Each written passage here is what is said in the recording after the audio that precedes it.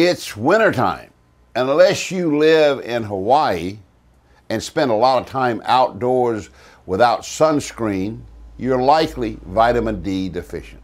That's because vitamin D is produced when the UVB radiation from the sun strikes the skin.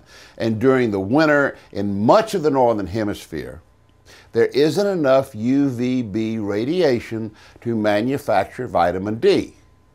So most Americans are just plain deficient. The only way to get enough of this vitamin is to take vitamin D3 supplements. As far as I'm concerned, you can forget the RDA of 400 to 600 international units per day, and I suggest that you take 2,000 to 5,000 units per day and have your blood level tested to assure you're in your optimal range. Now, in my opinion, the optimal range is 40 to 60 nanograms per milliliter.